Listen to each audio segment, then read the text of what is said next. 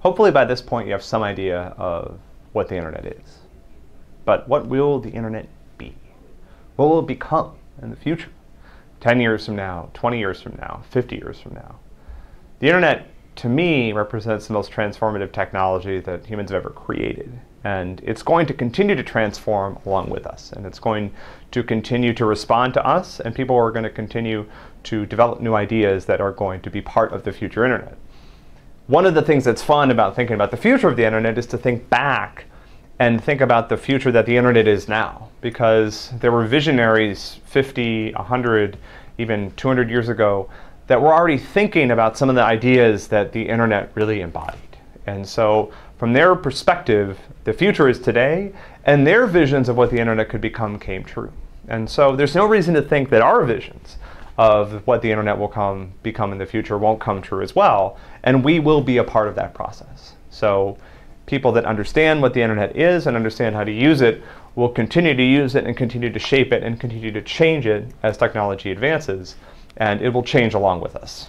To me, I think you know some of the more exciting. There's lots of exciting developments going on that are going to change how the internet works bringing the other 50% of the world's population online is going to be a big deal. It's going to be hard, um, but it's also going to be very interesting. It's going to open up lots of new, um, you know, new opportunities, and it's going to really change those people's lives in a very big way. Um, I think you know the rise of mobile devices um, and the pervasive and sort of uh, augmented reality and virtual reality worlds. We're going to see a lot more of an integration between physical space and cyberspace. Right now, we have this term for cyberspace because it is on some level, it feels like a different place. I use my computer, now I'm online. But I think in the future, what's going to happen is online is going to come you know, right into our daily lives and our daily environment. And the information that we now have to find online is going to be sort of embedded into the world around us in various ways, whether that's through, you know, special contact lenses that rest right on our eyeballs that are going to project information right right on top of the world around us or through other you know implants or other types of sort of various ways that we're going to integrate ourselves more closely with computers obviously we have various types of artificial intelligence to look forward to in the future which is something that's very interesting. And you know our relationship with robots and things like that will be fun to, to look forward to and that's something that the internet's going to have a big effect on. But i think you know nobody knows. It's fun to think about. It's fun to dream about. We can think about you know the next five ten years.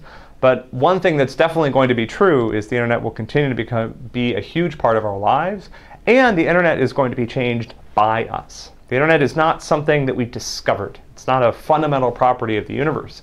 It's something that humans built because we wanted it, because we wanted the properties that it has. And so it's going to continue to reflect our desires and our priorities. And in that way, we all have a big role to play in not only participating in the internet today, but shaping how the internet evolves in the future.